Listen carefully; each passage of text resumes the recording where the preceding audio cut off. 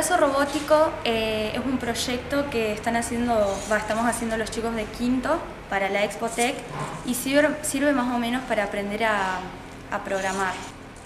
Bueno, contanos un poquito el proceso, ¿Cómo, ¿cómo se llega a esto? El proceso de fabricación de los brazos robóticos fue bastante largo, creo que fueron unos 3, 4 meses, que la primera iniciativa fue de hacer un proyecto para aprender a programar que si puedes ver ahí son los movimientos de brazo robótico eh, y todo lo que es el efecto que hace para con los grados que se controla por medio de servomotores, que son motores controlados por grados.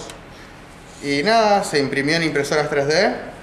Eh, fuimos de a poco haciendo pieza por pieza y logramos hacer 15 kits de programación.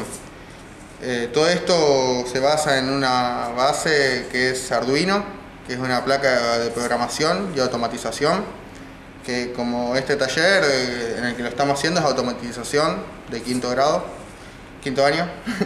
y nada, eh, lo pudimos hacer bien. El proyecto fue un poco lento por el tema de las impresoras, eh, que se hace pieza por pieza y es un trabajo bastante firme, hay que estar todos los días imprimiendo y imprimiendo, pero lo pudimos terminar bien. ¿Cuánto tiempo más o menos?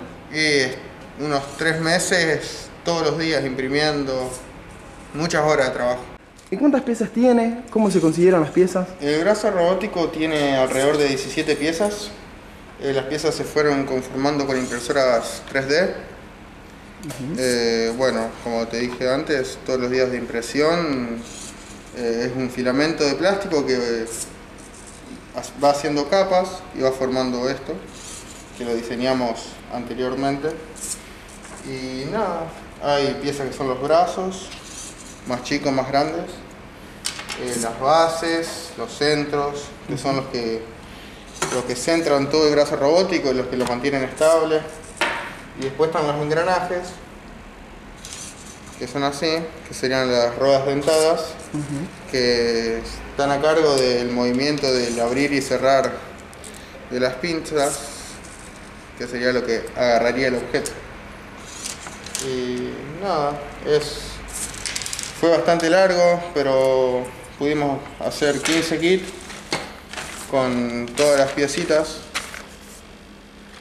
Pudimos hacer 15 así para poder armarlos y que los demás cursos de la escuela puedan aprender a programarlo y, y todo sobre los brazos robóticos. Bueno, profe, ¿y cómo se consiguen estos elementos?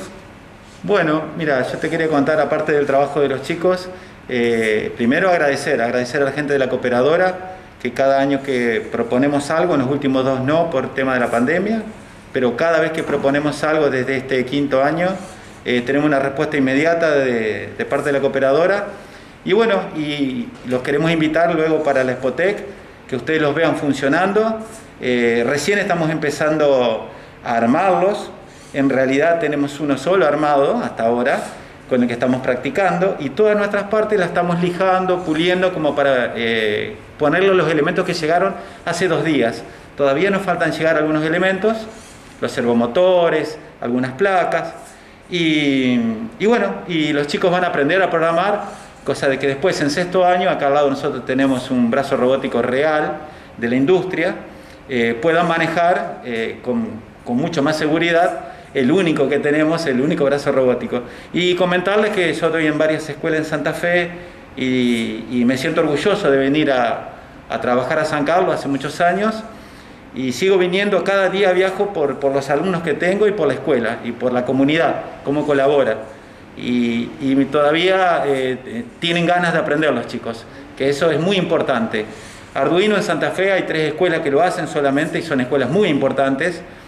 Y acá en la zona, creo, creo, no equivocarme, es la única escuela que tiene proyectos de Arduino.